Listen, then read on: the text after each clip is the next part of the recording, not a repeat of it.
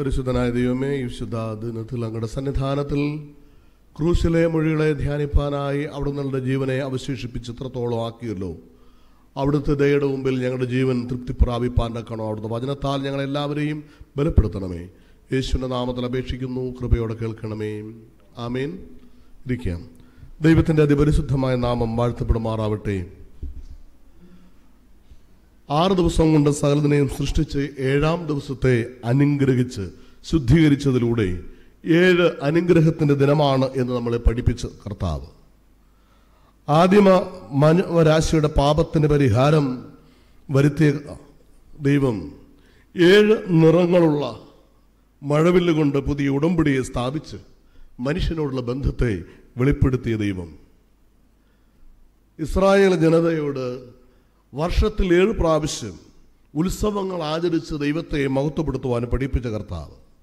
ഏഴാം ദിനത്തെ ഏറ്റവും അനുഗ്രഹമാക്കി വിശുദ്ധീകരിച്ച് അതിനെ ആരാധനയ്ക്കായി സഭായോഗ യോഗത്തിനായി വേർതിരിക്കുന്ന പോലെ ഏഴാം വർഷത്തെ ശബത്താണ്ട് സബാറ്റിക്കലിയറിനെ ദൈവ ആരാധനയ്ക്കായി ഒരു വർഷം നീണ്ടു നിൽക്കുന്ന ആരാധനയ്ക്കായി അനുവദിച്ചുകൊണ്ട് ഈ ലോകത്തിൽ ഏറ്റവും അത്ഭുതകരമായ വിമോചനത്തിന്റെ സാക്ഷ്യം വെളിപ്പെടുത്തിയ പാരിസ്ഥിതി സ്നേഹിയായ ദൈവം അങ്ങനത്തെ ഏഴ് ഏഴ് സംവത്സരങ്ങളാകുന്ന നാൽപ്പത്തി ഒൻപത് വർഷം കഴിയുന്ന അൻപതാം വർഷത്തെ യോബേൽ സംവത്സരം എന്ന നിലയിൽ ആരാധിച്ച് സകല ദാരിദ്ര്യത്തിനും പരിഹാരം വരുത്തുന്ന ജീവിത മാർഗമാണ് ദൈവം ഈ ഭൂമിയിൽ നടത്തുവാൻ ആഗ്രഹിക്കുന്നതെന്ന് പറഞ്ഞുകൊണ്ട് ഏഴിന്റെ അത്ഭുതങ്ങളെ അത്ഭുതകരമായി വെളിപ്പെടുത്തിയ സർവശക്തനായ ദൈവം ക്രൂശിലെ ഏഴ് മൊഴിയിലൂടെ മാനവരാശിയുടെ പാപത്തിന് പരിഹാരമായി താൻ നിറവർത്തിച്ച ആ വിശുദ്ധ ക്രൂശിന്റെ മർമ്മങ്ങളെ നമുക്ക് വെളിപ്പെടുത്തി തരികയാണ് ഏഴ് പൊൻ നിലവിളക്കളുടെ മധ്യത്തിൽ നടക്കുന്നവൻ ഏഴ്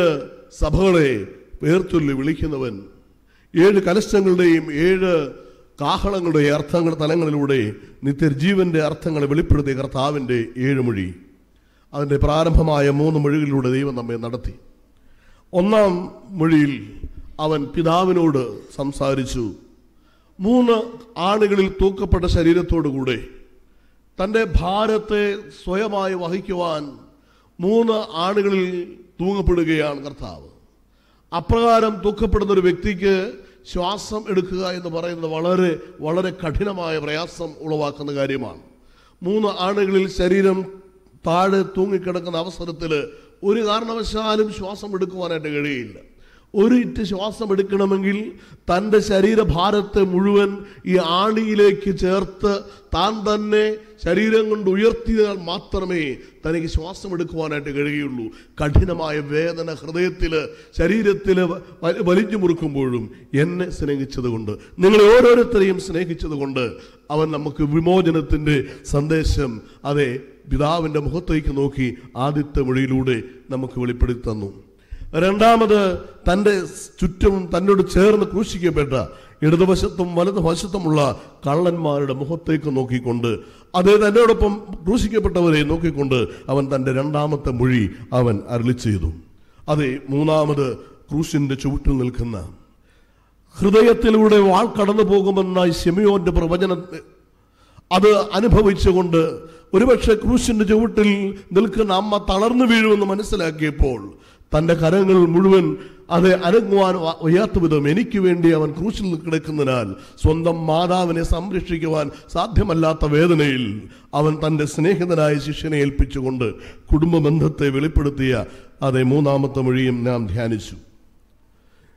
കർത്താവിന്റെ ക്രൂശിനെ സമയബന്ധിതമായി എഴുതി നമുക്ക് നൽകി തന്ന വിശുദ്ധ മർക്കോസിന്റെ സുവിശേഷത്തിൽ നിന്ന് നാലാം മൊഴിയിലേക്ക് നമുക്ക് കടന്നു വരാം വിശുദ്ധ മർക്കോസിന്റെ സുവിശേഷം പതിനഞ്ചാം അധ്യായം അതിന്റെ മുപ്പത്തി മൂന്ന് മുപ്പത്തിനാല് വാക്യങ്ങൾ ഒരാൾ വായിക്കണം. മർക്കോസിന്റെ സുവിശേഷം പതിനഞ്ചാം അധ്യായം അതിന്റെ മുപ്പത്തി മൂന്ന് മുപ്പത്തിനാല് വാക്യങ്ങൾ.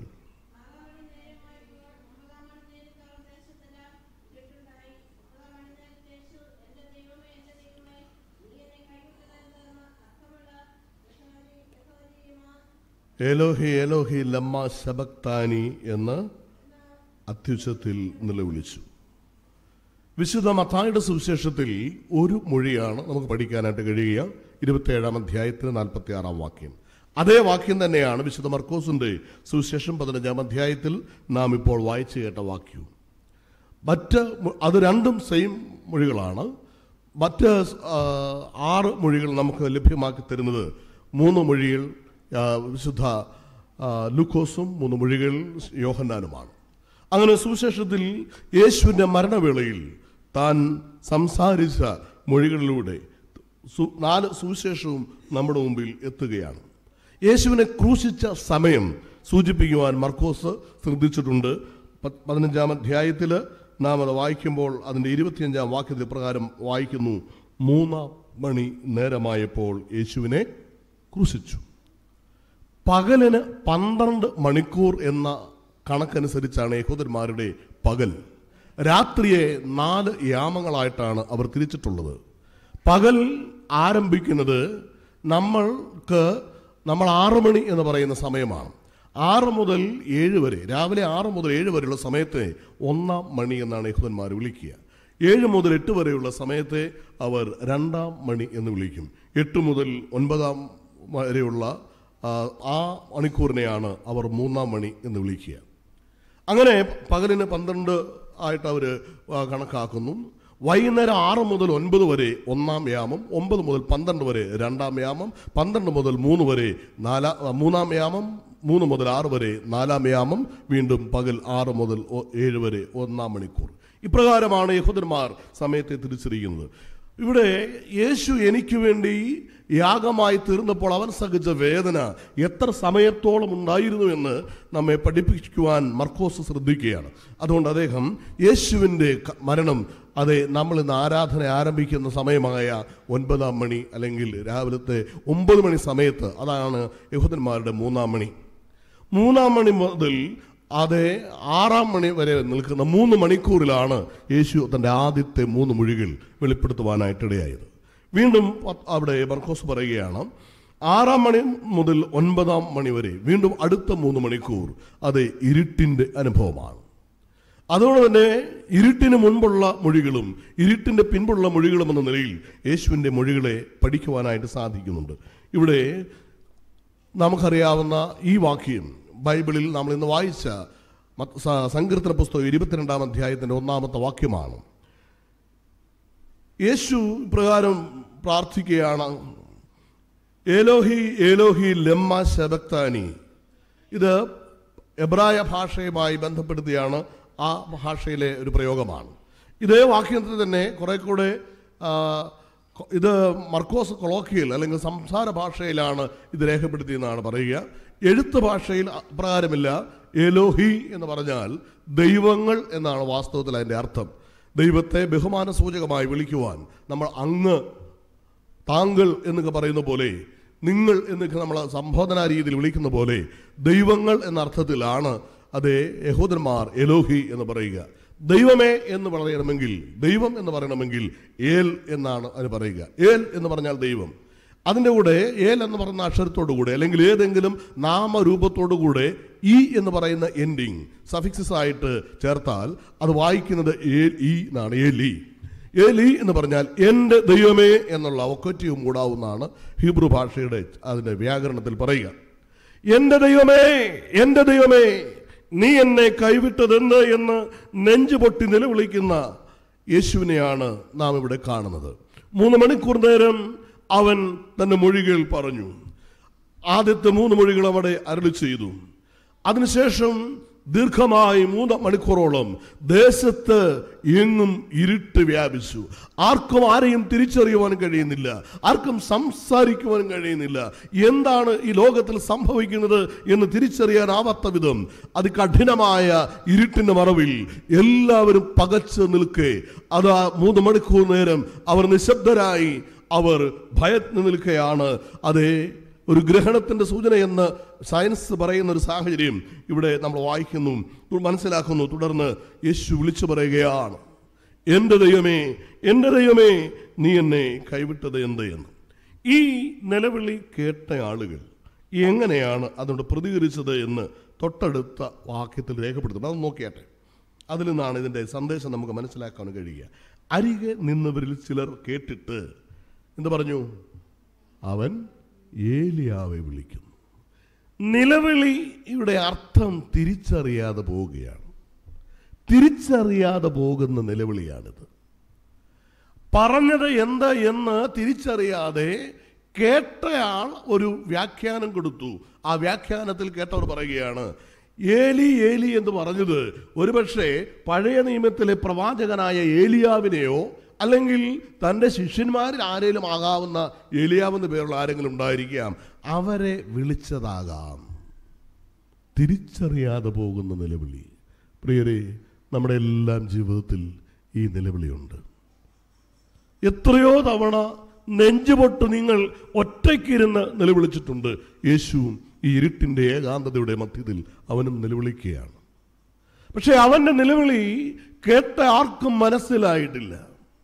രണ്ടായിരത്തി പതിനേഴിൽ ഒരു ചരിത്രമുണ്ട്. നമുക്കെല്ലാം സുപരിചിതമായ ചരിത്രം. അതിന്റെ സമാപനം കഴിഞ്ഞ ദിവസങ്ങളിൽ നമ്മൾ പത്രത്തിലൂടെ വായിച്ചു. വയനാടുള്ളൊരു മധു. വിശന്ന് തളർന്നപ്പോൾ കണ്ട കടയിലെ ഒരു ചെറിയ ആഹാരം എടുത്ത് കഴിച്ചു എന്നതിന്റെ പേരിൽ ആളുകൾ ഇരച്ചുകൂടി അവനെ ബന്ധിച്ച് ആക്രമിച്ച് അവനെ അവനെ കെട്ടിയിട്ട ഒരു ചിത്രം നമ്മുടെ മുമ്പിലുണ്ട്. പലപ്പോഴും ഞാനത് കാണുമ്പോൾ ക്രൂശിതനായ യേശുവിന്റെ ഒരു മുഖം തന്നെയല്ലേ ഈ മധുവിനുള്ളത് എന്ന് തോന്നിപ്പോകും. അവൻ ആ അവൻ നിൽക്കുമ്പോൾ അവന്റെ മുഖത്ത് നോക്കിയാൽ ഒരു ചെറിയ ചിരിയുടെ ഭാഗമുണ്ട്. എന്തിനായിരിക്കും അവർ പക്ഷേ അവൻ ചിരിച്ചത്? തന്നെ ഇങ്ങനെ കെട്ടിയെങ്കിലും തന്നെ ഇങ്ങനെ ആക്രമിച്ചെങ്കിലും ഒരുപക്ഷെ എന്നെ അവരഴിച്ചുവിടും ഒരുപക്ഷെ എന്നെ ഒന്ന് കളിയാക്കാൻ വേണ്ടി കളിപ്പിക്കാൻ വേണ്ടി ആകാം. എന്നെ ഇങ്ങനെ നൊമ്പരപ്പെടുത്തിയത് എന്നുള്ളൊരു വിചാരത്തോടെ അവന്റെ ചുണ്ടിലൊരു ഒരു ഒരു ചിരിയുണ്ട്. പക്ഷെ എന്താണ് സംഭവിച്ചത് നമുക്കറിയാം. അവൻ പടഞ്ഞു മരിക്കുകയായിരുന്നു. പ്രിയറി നമ്മൾ അടുത്ത കാലത്ത് വായിച്ച മറ്റൊരു ചരിത്രമുണ്ട്. സ്കൂളിൽ പഠിക്കുന്ന ഒരു ദളിത് കുഞ്ഞ് ദാഹം പെരുത്തു പെരുത്ത ദാഹം തീർക്കുവാൻ വേണ്ടി അവൻ നോക്കിയപ്പോൾ അവിടെ സൗകര്യമായിട്ടിരിക്കുന്ന ഒരു കൂജയിൽ ഒരു വെള്ളമുണ്ട്. ആ മകൻ പോയി ആ വെള്ളം എടുത്ത് കുടിച്ചു. അത് ആ സ്കൂളിലെ ബ്രാഹ്മണനായ ഒരു അധ്യാപകന്റെ കൂജയായിരുന്നു. അതിലാണ് ആ വെള്ളം ഇരുന്നത് അയാൾക്ക് കോപം കലശലായി. ഒരു താഴ്ന്ന ജാതിയിൽപ്പെട്ട ഒരു ഒരു പയ്യൻ എന്റെ ആ ഇത്രയും ഉന്നത ജാതിക്കാരനായ എന്റെ വീട്ടിലെ എന്റെ കൂജയിലെ വെള്ളത്തിൽ വെള്ളം എടുത്ത് കുടിക്കുന്നു. അവനെ അവൻ അവരാക്രമിച്ചു ആക്രമിച്ച്. അവനെ അടിച്ച് കൊന്നുകളഞ്ഞു. ആ കുഞ്ഞിന്റെ നിലവിളിയും ഇതുപോലൊരു നിലവിളിയല്ലേ? ആരും തിരിച്ചറിയാതെ പോകുന്ന നിലവിളി. ആരും അറിയാതെ പോകുന്നൊരു നിലവിളി. ആ നിലവിളിയുടെ ആണ് നാലാം മൊഴി നമ്മൾ കാണിക്കുന്നു. ഒരു പക്ഷേ ഏഴ് എന്ന അക്കത്തിന്റെ ഏറ്റവും സെന്റർ പോയിന്റ് നാലാണ്. അതിന് പുറയിലും നാല് നമുക്ക് മൂന്ന് നമുക്ക് കാണാം അതിന് ശേഷവും നമുക്ക് മൂന്ന് കാണാം. ഏറ്റവും പ്രധാനമാണ് എന്ന് നമ്മളെ പഠിപ്പിക്കുകയാണ് ഈ നാലാം മൊഴി വാസ്തവത്തിൽ എന്തിനാണ് യേശു ഇങ്ങനെ നിലവിളിക്കുന്നത്? പിതാവിനോട് സംസാരിക്കുന്നവൻ ക്ഷമയ്ക്ക് വേണ്ടി അപേക്ഷിച്ചവൻ നഷ്ടപ്പെട്ടു പോയ പറുദീസ മകനെ നീ ക്രൂശിന്റെ അരിക്കൽ വന്നാൽ നീ അനുദപിച്ചാൽ നിനക്ക് എന്ത് നഷ്ടപ്പെട്ടോ അത് തിരികെ തരാമെന്ന് പഠിപ്പിച്ച ക്രൂശിൽ രണ്ടാം മൊഴി നാം ശ്രദ്ധിച്ചു. ക്രൂശ് ബന്ധങ്ങളെ പുതുക്കുന്നതാണ്. എനിക്കും നിനക്കുമുള്ള കുടുംബത്തിന് വിരോധമായി ശത്രു കൊണ്ടുവരുന്ന സകല പ്രതികൂലങ്ങളെയും തകർത്തുകൊണ്ട് നിന്റെ കുടുംബത്തെ പുതുക്കുന്നതാണ് മൂന്നാം മൊഴി എന്ന് ദൈവം നമ്മോട് സംസാരിച്ചു. അങ്ങനെ അനുഗ്രഹത്തിന്റെ വെളിപ്പെടുത്തലിന്റെ മധ്യത്തിൽ യേശു നിലവിളിക്കുകയാണ്. തിരിച്ചറിയാതെ പോകുന്ന ഒരു നിലവിളി. എത്രയോ നിലവിളികൾ തിരിച്ചറിയാതെ പോകുന്നു നമ്മുടെ വ്യക്തിപരമായ ജീവിതത്തിൽ നമ്മുടെ കുടുംബ ജീവിതത്തിൽ നമ്മുടെ സഭാ ജീവിതത്തിൽ നമ്മുടെ സമൂഹത്തിൽ എത്രയോ എത്രയോ നമുക്ക് എടുത്തു പറയുവാനായിട്ട് കഴിയും. ദൈവം മനുഷ്യനെ കൈവിടുമോ? ചോദ്യം ഇതാണ്. ദൈവമേ ദൈവമേ നീ എന്നെ കൈവിട്ടതെന്ത്? തിരിച്ചറിയാതെ പോകുന്ന നിലവിളിയോടൊപ്പം തന്നെ ഇതിന് മറ്റൊരു തലമുണ്ട്. അത് ദൈവം തന്റെ സൃഷ്ടിയെ പുനഃസൃഷ്ടിക്കുമ്പോൾ പുനഃസൃഷ്ടിയുടെ അനുഭവത്തിലേക്ക് എത്തിച്ചേരാതെ വരുന്ന ആളുകൾക്കുണ്ടാകാവുന്ന വലിയ അനർത്ഥമുണ്ട് എന്ന് പഠിപ്പിക്കുകയാണ് ഇന്നലെ വിളി ഒന്നുകൂടെ പറയാം. പുനർസൃഷ്ടിക്ക് അവകാശവും അനുവാദവും യേശു തന്റെ ക്രൂശിലൂടെ സൗജന്യമായി എനിക്കും നിനക്കും ഈ സമൂഹത്തിനും ലോകത്തിലെ സകല മനുഷ്യർക്കും അവർ നല്ലവരെന്നോ ചീത്തവരെന്നോ കർത്താവ് നോക്കാതെ സകല മനുഷ്യർക്കും പുതിയ സൃഷ്ടിയാകുവാൻ അവസരം നൽകിയിട്ട് ആവർത്തിച്ച് ആവർത്തിച്ച് അതിനുള്ള അവകാശം ലഭിച്ചിട്ട് മനഃപൂർവമായി ഈ അവകാശത്തെ നിഷേധിച്ച് എനിക്ക് ഈ യേശുവിനെ വേണ്ട എന്ന് അത് ചിന്തിച്ചുകൊണ്ട് യേശുവിനെ നിരാകരിച്ചു പോകുന്നവർ എത്തിച്ചേരുന്ന ഇടത്ത് നിലവിളിക്കുന്ന നിലവിളി ഏതാണെന്ന് യേശു നമ്മെ പഠിപ്പിക്കുകയാണ് ഈ നാലാം മൊഴിയിലൂടെ വിശുദ്ധ മത്തായുടെ സുവിശേഷം അതിന്റെ പതിമൂന്നാം അധ്യായത്തിൽ ഇതിനെക്കുറിച്ച് കർത്താവ് പറഞ്ഞൊരു വാക്യം വായിച്ചിട്ട് ഒരു അനുഭവം കൂടെ പറഞ്ഞ് ഞാൻ അവസാനിപ്പിക്കാം വിശുദ്ധ മത്തായുടെ സുവിശേഷം അതിന്റെ പതിമൂന്നാം അധ്യായത്തിൽ. അതിന്റെ നാൽപ്പത്തൊന്ന് നാൽപ്പത്തിരണ്ട് വാക്യങ്ങളൊന്ന് വായിച്ചാട്ടെ. അതാണ് ശേഷം പതിമൂന്നാം അധ്യായം നാൽപ്പത്തൊന്ന് നാൽപ്പത്തിരണ്ട്. ആ.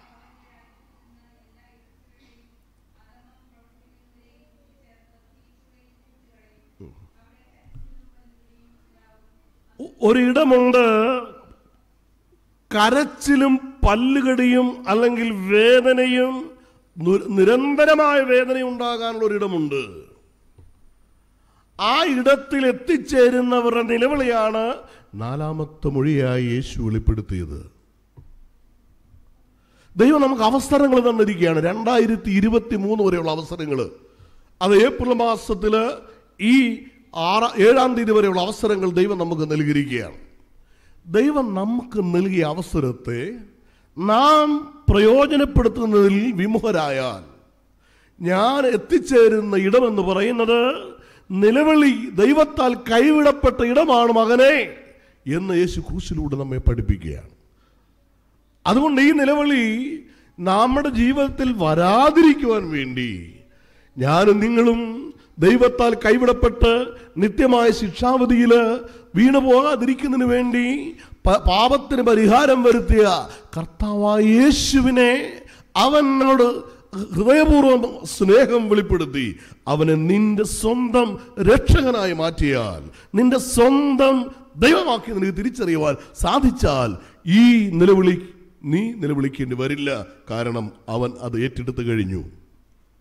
എന്റെ ദൈവമേ എന്റെ ദൈവമേ നീ എന്നെ കൈവിട്ടത് എന്ന് നിലവിളിക്കേണ്ടി വരുന്ന നരകശിക്ഷ ഞാനും നിങ്ങളും അനുഭവിക്കാതിരിപ്പാൻ ദൈവം നമ്മോട് പറയുകയാ അതെ ഈ നിലവിളി അവൻ ഏറ്റെടുത്തു.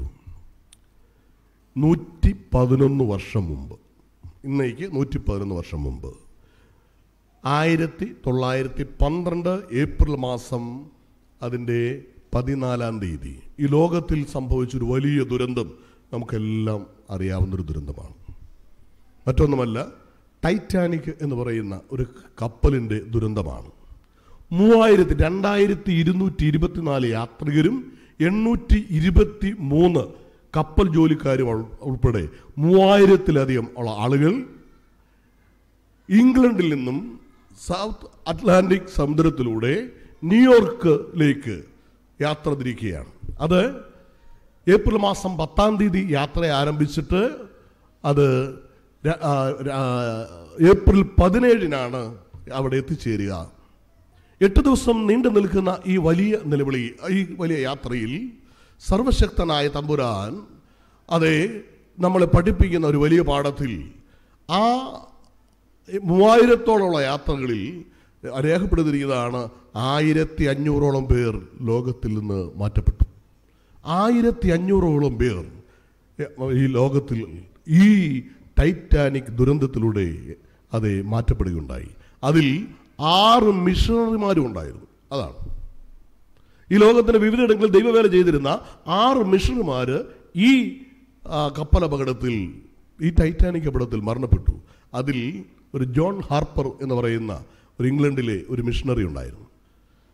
അദ്ദേഹം വളരെ ചെറുപ്പം മുതൽ യേശുവിനെ കുറിച്ച് പറയുവാൻ ആഗ്രഹിച്ച് കാണുന്നവരോടെല്ലാം ചോദിക്കുന്ന ഒരു ചോദ്യമാണ് സഹോദര നീ രക്ഷിക്കപ്പെട്ടു. നീ യേശുവുമായി ബന്ധത്തിലാണോ? ഇതായിരുന്നു അദ്ദേഹത്തിന്റെ എല്ലാ ആളുകളോടുമുള്ള ചോദ്യത്തിലൊന്ന്. എല്ലാവരുമായിട്ട് സംസാരിക്കും. അങ്ങനെ നല്ലൊരു പ്രഭാഷകനായി അദ്ദേഹം മാറി. അങ്ങനെ അദ്ദേഹം ഒരു സഭയുടെ ബാപ്റ്റിസ്റ്റ് സഭയുടെ പാസ്റ്ററായിട്ട് മാറ്റപ്പെട്ടു. അദ്ദേഹം തന്റെ പ്രസംഗം എല്ലാവരും അറിയുന്ന തുടങ്ങി. മുപ്പത്തി ഒൻപതാമത്തെ വയസ്സിൽ അദ്ദേഹത്തിന്റെ ഭാര്യ മരണപ്പെട്ട അദ്ദേഹം ഒരു ആറ് വയസ്സുള്ള ഒരു കുഞ്ഞുമായി തന്റെ ജീവിതത്തിൽ യേശുവിനെ സാക്ഷിച്ചുകൊണ്ട് നടക്കുന്ന ഒരു മക വ്യക്തിയാണ് ജോൺ ഹാർപ്പർ. അദ്ദേഹത്തെ ജോൺ മൂഡിയുടെ സഭയിലേക്ക് കൺവെൻഷൻ പ്രസംഗത്തിനായി ക്ഷണിച്ചു. അദ്ദേഹം തിരഞ്ഞെടുത്തത് ഈ കപ്പൽ യാത്ര ചെയ്യാനാണ് ടൈറ്റാനിക് എന്ന കപ്പൽ. കപ്പൽ യാത്ര ആരംഭിച്ചു രണ്ട് അത് ഏപ്രിൽ പത്താം തീയതി ആരംഭിച്ചു. യാത്രയിലൂടെ തന്റെ സഹോദരങ്ങളോട് തന്റെ പ്രിയപ്പെട്ടവരോട് അദ്ദേഹം സംഭാഷണം നടത്തി എല്ലാവരോടും ചോദിച്ചു നിങ്ങൾ രക്ഷിക്കപ്പെട്ടു. അപ്പോൾ തന്റെ ക്യാബിനുള്ളവരും അടുത്തുള്ളവരുമായിട്ട് മാത്രമേ അദ്ദേഹത്തിന് സാധിച്ചിട്ടുള്ളൂ. അത് മാത്രം അദ്ദേഹത്തെ ചോദിക്കാറുള്ളൂ മകനെ നീ രക്ഷിക്കപ്പെട്ടതാണ്. നിനക്ക് യേശുവുമായൊരു ബന്ധമുണ്ടോ? അതെ പലരും അദ്ദേഹത്തോട് സംവാദങ്ങൾ നടത്തി പലരുമായി അദ്ദേഹം സംസാരം നടത്തി പലരെയും യേശുവിലേക്ക് ആനയിക്കുവാൻ അദ്ദേഹം ബന്ധപ്പെട്ടുകൊണ്ടേയിരുന്നു. കപ്പൽ തകരുകയാണ്. രണ്ടായിരത്തി ആയിരത്തി തൊള്ളായിരത്തി പന്ത്രണ്ട് ഏപ്രിൽ മാസം പതിനാലാം തീയതി അർദ്ധരാത്രിയിൽ അതേ കപ്പൽ ഐസ്ബർഗിൽ ഇടിച്ചു കപ്പൽ തകർന്നു. ആളുകൾ ആയിരത്തി അഞ്ഞൂറ് പേർക്ക് മാത്രം രക്ഷപ്പെടാനുള്ള ലൈഫ് ബോട്ടുകൾ മാത്രമേ അത് ഉണ്ടായിരുന്നുള്ളൂ എല്ലാവർക്കും ഉള്ള ലൈഫ് ബോട്ട് ഉണ്ടായിരുന്നു എല്ലാവർക്കും രക്ഷപ്പെടാമായിരുന്നു. പക്ഷേ അത് അന്നത്തെ അഹംഭാവത്തിന്റെ അടയാളമായി മാറ്റപ്പെട്ടു പണിതാകിയാൽ ആയിരത്തി അഞ്ഞൂറ് പേർക്ക് കടന്നു പോകുന്ന ലൈഫ് ബോട്ടുകളുണ്ട്. അങ്ങനെ അദ്ദേഹം ആയിരത്തി അഞ്ഞൂറോളം പേര് രക്ഷപ്പെടാനായിട്ട് ശ്രമിച്ചുകൊണ്ടിരിക്കുകയാണ്. ഈ ഹാർപ്പർ വെള്ളത്തിൽ ആണ് അത് പൊങ്ങി വരുന്നു. പൊങ്ങി വന്നപ്പോൾ അദ്ദേഹം കാണുന്നത് തൊൻ- തന്റെ തൊട്ടടുത്ത ഒരു യുവാവുണ്ട്. ഈ ഹാർപ്പർ വിളിച്ചു ചോദിച്ചു മോൻ നീ യേശുവിനെ രക്ഷകനായി സ്വീകരിച്ചിട്ടുണ്ടോ? അത് പറഞ്ഞപ്പോൾ ഈ മനുഷ്യൻ ഈ യൗവനക്കാരൻ താഴെ വീ താഴേക്ക് വീണ്ടും വെള്ളത്തിലാണ് പോയി അതേ ഹാർപ്പറിന്റെ നില വെള്ളത്തിൽ നിലനിൽക്കുന്ന ഹാർപ്പർ ഒന്ന് മുങ്ങി വീണ്ടും ഒന്നുകൂടെ ഉയർന്നപ്പോൾ അതേ സഹോദരൻ വെള്ളത്തിൽ വീണ്ടും ഉയർന്നു നിൽക്കുകയാണ് മെല്ലെ അദ്ദേഹം ചോദിച്ചു നീ യേശുവിനെ രക്ഷകനായി സ്വീകരിച്ചിട്ടുണ്ടോ? ആ ചെറുപ്പക്കാരൻ ഹാർപ്പറോട് പറഞ്ഞു ഞാനിപ്പോൾ യേശുവിനെ സ്വീകരിക്കുകയാണ്. അങ്ങനെ പറഞ്ഞു അതിനോടുകൂടെ ഈ ജോൺ ഹാർപ്പർ വെള്ളത്തിന്റെ ആഴത്തിലേക്ക് മരവിച്ച് മരണത്തിലേക്ക് അടന്നുപോയി തന്റെ ജീവിതത്തിന്റെ അവസാന വേളയിൽ താൻ കേട്ടത് യേശുവാണ് എന്നുള്ളൊരു ബോധ്യത്തോടുകൂടെ അദ്ദേഹം മുങ്ങിത്താഴ്ന്ന വേളയിൽ അതിൽ കടന്നു വന്ന ഒരു ലൈഫ് ബോട്ട് ഇദ്ദേഹത്തെ രക്ഷിപ്പാനായിട്ടിടയായി. ആ മനുഷ്യൻ തന്റെ മരണവേളയിൽ പോലും യേശുവിനെ അറിഞ്ഞിട്ടുണ്ടോ എന്ന് ചോദിച്ച ഈ മനുഷ്യന്റെ യേശുവിനുള്ള സ്നേഹം എത്രയെന്ന് ഓർത്തുകൊണ്ട് ആ യുവാവ് തന്നെ യേശുവിനായി സമർപ്പിച്ചു. ആ മനുഷ്യൻ പിന്നീട് ഈ ആയിരത്തി അഞ്ഞൂറ് പേർ പിൽക്കാലം പല പ്രാവശ്യവും ഈ കപ്പലിൽ നിന്ന് രക്ഷപ്പെട്ടവരുടെ ഗെറ്റ് ടുഗദർ ക്രമീകരിക്കുമായിരുന്നു. അവിടെ വെച്ചൊരിക്കൽ യുവാവ് പറഞ്ഞു അതെ സ്വന്തം മരണത്തിന്റെ അവസാന നിമിഷവേളയിലും ഞാൻ നശിക്കാതിരിക്കേണ്ടതിന് യേശുവിന്റെ അരികിലേക്ക് എന്നെ വിളിച്ച എന്നെ വിളിച്ചടിപ്പിച്ച ആ മനുഷ്യൻ ആരെന്ന് എനിക്കറിയില്ല എന്നാൽ എനിക്കിപ്പോൾ യേശുവിനെ അറിയാം. അതെ അവസാന നിമിഷത്തിലെ ശ്വാസം കൊണ്ട് പോലും ഒരാളെ യേശുവിലേക്ക് വിളിച്ചടിപ്പിച്ചുകൊണ്ട് ജോൺ ഹാർപ്പർ എന്ന ആ മനുഷ്യൻ ഈ ലോകത്തിൽ അറ്റ്ലാന്റിക് സമുദ്രത്തിന്റെ അടിവാരത്തിലേക്ക് മരണത്തിലൂടെ കടന്നുപോയി. പ്രിയരെ ഈ നൊമ്പരമാണ് യേശുവിനും നമ്മളെക്കുറിച്ചുള്ളത്.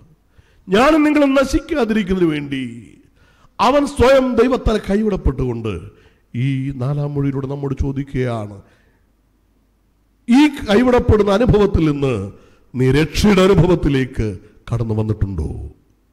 നമ്മുടെ തലകളെ വണക്കാം. ഈ ചോദ്യത്തിനൊരു മറുപടി പറഞ്ഞ് മാത്രമേ ഇന്ന് നിങ്ങൾ ഇവിടുന്ന് പോകാവൂ. യേശുവിനെ അനുഭവിച്ചറിയുവാൻ കഴിയുന്നുണ്ടോ? പരിശുദ്ധനായ ദൈവമേ സ്വർഗീയ പിതാവേ ഞങ്ങളും ഞങ്ങളുടെ നിലവിളിയും ഈ ലോകം തിരിച്ചറിയാതെ പോയിട്ടുണ്ട്. അങ്ങയെ തിരിച്ചറിയാതെ ഞങ്ങളും ജീവിച്ചു പോയി. അച്ഛനായും ഉപദേശിയായും ഗായക സംഘത്തിലെ അംഗമായും സഭയുടെ ഉത്തരവാദിത്തപ്പെട്ടവരായും സഭയിലെ അംഗമായും എല്ലാം ഞങ്ങൾ ഓരോരുത്തരും ഇവിടെ ജീവിക്കുമ്പോഴും എന്റെ കർത്താവെ അങ്ങയുടെ ശബ്ദമേതെന്നറിയാതെ അങ്ങ് ഞങ്ങളെ വിളിക്കുന്ന ക്രൂശിന്റെ അനുഭവം നിത്യരക്ഷയിലേക്കാണെന്ന് തിരിച്ചറിയാതെ ഞങ്ങൾ അങ്ങേ ഉപേക്ഷിച്ചു പോയി. അവിടുന്ന് പൊറുക്കണം അവിടുന്ന് ഞങ്ങളോട് ക്ഷമിക്കണം. എന്റെ കർത്താവുമായുള്ള ബന്ധത്തിൽ കൈവിടപ്പെടാത്തൊരു ജീവിതത്തിന്റെ ഉടമയായി തീരുവാൻ അങ്ങയുടെ കരങ്ങളിലേക്ക് ഞങ്ങളെ വിനയപ്പെടുത്തുന്നു. ഞങ്ങളെ സമ്പൂർണമായി ഏൽപ്പിച്ചു തരുന്നു. യേശുവിന്റെ നാമത്തിൽ ഞങ്ങളെ സ്വീകരിക്കണമെന്ന് വിനയത്തോടെ അപേക്ഷിക്കുന്നു. കൃപയോടെ കേൾക്കണമേ. ആമേൻ.